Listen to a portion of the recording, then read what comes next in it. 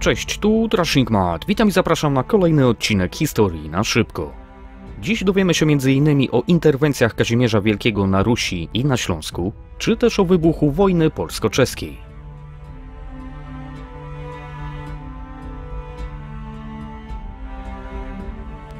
Tuż po zawarciu pokoju kaliskiego Kazimierz Wielki postanowił zainterweniować na Śląsku. Przypomnijmy, iż nowy książę żagański Henryk V Żelazny odmówił złożenia hołdu Janowi Luksemburskiemu. Ponadto, chcąc odzyskać z rąk czeskich głogów, najechał on na tę ziemię, zajmując miasto.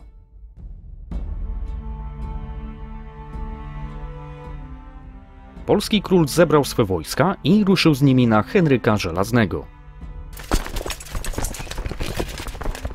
Oficjalnie powodem interwencji było dochowanie sojuszu z królem Czech.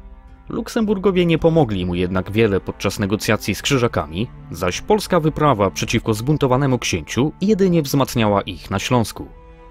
Alternatywą byłoby stanięcie po stronie Henryka Żelaznego, na co jednak Polska była zbyt słaba, bądź też zachowanie neutralności i nie uzyskanie niczego.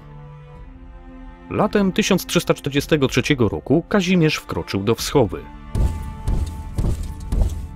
a więc południowego skrawka Wielkopolski, będącego w rękach wroga.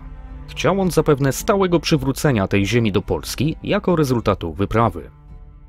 Niestety Henrykowi Żelaznemu z pomocą przyszli jego wujowie, książęta Konrad Oleśnicki i Jan Ścinawski.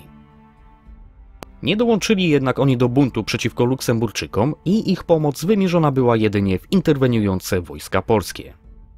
Na tym etapie Kazimierz prawdopodobnie rozdzielił swe siły, Część z nich skierowano na Oleśnicę. Doszło tam do bitwy, w której dowodzący wojskami śląskimi Konrad Oleśnicki odniósł zwycięstwo. Pozostała część polskich wojsk, najpewniej dowodzona przez samego Kazimierza, odniosła jednak sukces. Polski król wtargnął do księstwa ścinawskiego, łupiąc jego ziemię, po czym zdobył i spalił samą jego stolicę, Ścinawę. Następnie skierował się do księstwa żagańskiego, pustosząc także i je. Wydarzenia te zmusiły Henryka Żelaznego do pertraktacji i prawdopodobnie doszło do osobistego spotkania z Kazimierzem. W myśl porozumienia polskie wojska ustąpiły z ziemi żagańskiej, zaś Henryk przekazał polskiemu królowi Wschowę. Osamotniony Henryk zmuszony był także pogodzić się z utratą Głogowa. W czerwcu kolejnego roku zawarł z królem Janem Rozejm, gdy ten obiecał przekazanie mu połowy Głogowa. Z kolei w listopadzie Henryk Żelazny złożył mu w Pradze hołd.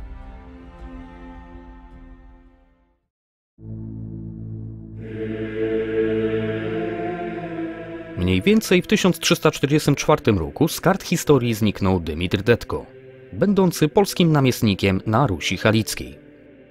Wobec braku przekazów trudno dokładnie ustalić okoliczności i następstwa jego zniknięcia. Nastąpiła tam jednak zapewne polityczna próżnia, którą zamierzali wykorzystać sąsiedzi. W okresie tym miejsce miały węgierskie wyprawy na Tatarów, którzy wobec trwającej dodatkowo wojny domowej nie mogli na Haliczu interweniować. Zainterweniował tam jednak litewski książę Lubart, chcący rozszerzenia swego władztwa. Kazimierz Wielki wciąż rościł sobie jednak prawa do całości Rusi Halicko-Wodzimierskiej. Nie zamierzał się więc temu biernie przyglądać i także wyprawił się na wschód. Koniec końców Polacy zajęli ziemię sanocką i przemyską. Kazimierz nie ustanowił tutaj jednak namiestnika i zamiast tego włączył tę ziemię bezpośrednio do ziem koronnych. Reszta Halicza znalazła się w rękach Lubarta. Tymczasem na Litwie wciąż trwała wojna domowa pomiędzy Jawnutą a Olgierdem. Sytuację zamierzali wykorzystać Krzyżacy, których południowa granica była dodatkowo zabezpieczona po podpisaniu pokoju kaliskiego z Polską.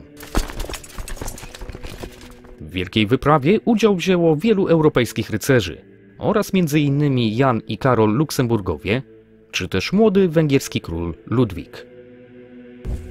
Krzyżowcy podeszli aż pod Wilno, które znalazło się pod oblężeniem. Litwini zorganizowali jednak w odpowiedzi niszczycielski rajd na Prusy i wojska krzyżackie zmuszone były do odwrotu. Oblegany dotąd w Wilnie Jawnuta nie mógł jednak odetchnąć z ulgą. Miasto zajął bowiem jego sprzyjający Olgierdowi brat, a więc Kiejstud. Jawnuta zdołał pomimo tego zbiec wkrótce z niewoli, udając się na wygnanie do Moskwy. Przyjął tam prawosławie i liczył na moskiewską pomoc w dalszej walce o tron.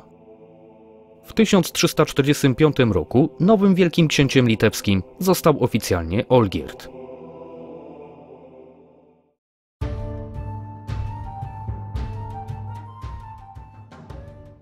Stosunki Kazimierza Wielkiego z Luksemburgami znów stawały się coraz gorsze. Być może wobec ostatnich sukcesów polski król liczył na możliwość rozszerzenia swych wpływów na Mazowsze lub Śląsk. Być może także obawiał się wzrostu ich potęgi wewnątrz cesarstwa. Efektem tego było ponowne zbliżenie z rywalami Luksemburgów, Wittelsbachami. Zmianę polityki sugerował Kazimierzowi jego siostrzeniec, Bolko II Mały, który konsekwentnie odmawiał złożenia Janowi Luksemburgowi hołdu. Na rywalizację Luksemburgów i Wittelsbachów spory wpływ miał także nowy papież, a więc Klemens VI, który zdecydowanie opowiadał się po stronie tych pierwszych. 1 stycznia 1345 roku doszło do zawarcia sojuszu pomiędzy cesarzem Ludwikiem IV i jego synami, a Kazimierzem Wielkim, Ludwikiem Węgierskim i Bolkiem II Małym. Ponieważ Wittelsbachowie władali w tym czasie w Brandenburgii i Bawarii, w wyniku zawiązanego przymierza Czechy były niemal otoczone przez wrogów. Porozumienie wzmocnić miał polityczny mariaż. Druga, pełnoletnia już córka Kazimierza, Kunegunda, poślubić miała jednego z synów cesarza, Ludwika Rzymianina. Przypomnijmy, iż wedle projektu z 1335 roku, kiedy to Kazimierz także negocjował z Wittelsbachami, Ludwik Rzymianin poślubić miał starszą Elżbietę. W marcu przez Polskę podróżował Karol Luksemburski, powracający do Czech z ostatniej wyprawy na Litwę po stronie Krzyżaków. W dość prowokacyjnym ruchu został on po drodze zatrzymany przez ludzi Kazimierza i wtrącony do lochu w Kaliszu.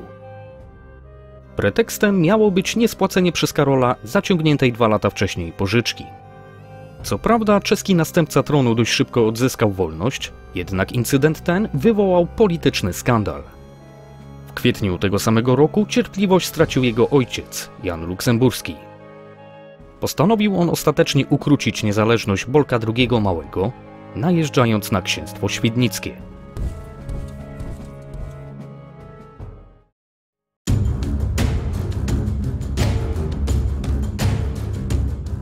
Wobec ataku na sojusznika Kazimierz Wielki wypowiedział czeskiemu królowi wojnę.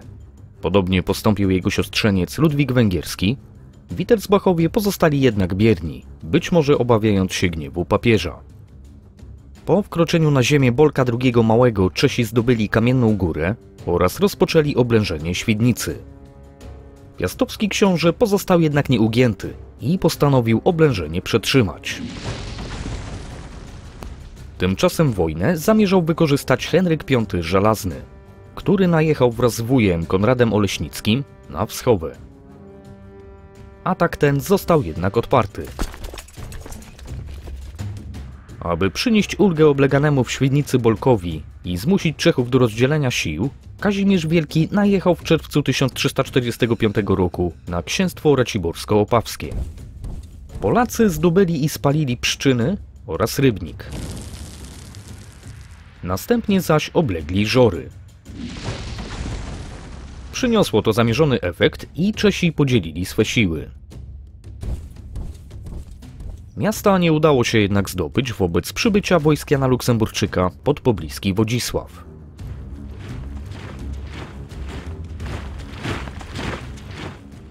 Czesi rozbili tam obóz, oczekując na wydanie Polakom walnej bitwy. Kazimierz nie chciał jednak doprowadzać do starcia i zarządził odwrót. Jan Luksemburski ruszył jednak za nim, wkraczając w lipcu do Małopolski. Po drodze Czesi plądrowali i łopili okolice, zaś po dotarciu 12 lipca pod Kraków rozpoczęli oblężenie. Miasto było jednak dobrze przygotowane i obwarowane. Wobec zagrożenia stolicy polski król posłał emisariuszy do margrabiego Brandenburgii Ludwika V Wittelsbacha. Doszło także do zaplanowanego wcześniej ślubu Kunegundy z Ludwikiem Rzymianinem. Jednak pomimo tego Wittelsbachowie nie włączyli się do wojny. Aby przerwać impas, Kazimierz miał ponoć wyzwać czeskiego króla na pojedynek, aby w myśl rycerskiego obyczaju oddać sprawę pod tzw. Sąd Boży. Jan Luksemburski był słynnym w całej Europie rycerzem, weteranem wielu turniejów, czy też na przykład walk z Litwinami czy Anglikami. Kazimierz zaś bardziej niż z władania mieczem słynął ze swych licznych romansów. Król Jan już niemal całkowicie stracił jednak wzrok, z czego polski monarcha zapewne zdawał sobie sprawę. Luksemburczyk z sarkazmem zaproponował Kazimierzowi zgodę, jednak pod warunkiem, że ten wyłupałby sobie oczy dla wyrównania szans. No i oczywiście, jak się możecie domyślić, do pojedynku nie doszło.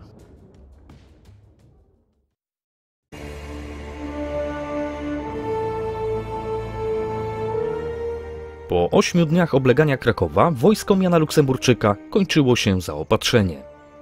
W trakcie średniowiecznych kampanii zdobywano je najczęściej po prostu łupiąc mijane po drodze miejscowości. W drodze przez Małopolskę Czesi doszczętnie jednak ogołocili całą okolicę. Nie mogli więc wrócić tym samym szlakiem, którym przyszli. Czeski król zarządził więc odwrót do Czech innymi szlakami, dzieląc swe siły w taki sposób, aby mogły efektywniej się zaopatrywać. Jedną część swych sił skierował na Olkusz, drugą na Lelowo. Sam król powrócił zaś ze swą strażą przyboczną bezpośrednio do Czech. Na pospieszną decyzję Jana Luksemburczyka wpłynąć mogły także wieści o przybyciu do Polski węgierskich posiłków. Podział wojsk pozwolił Czechom na zdobycie nowych łupów. Znów bezlitośnie plądrowali okolice, nie oszczędzając nawet klasztoru w Miechowie. Z drugiej jednak strony rozdzielenie sił naraziło ich na kontratak. Kazimierz ruszył za nimi w pościg.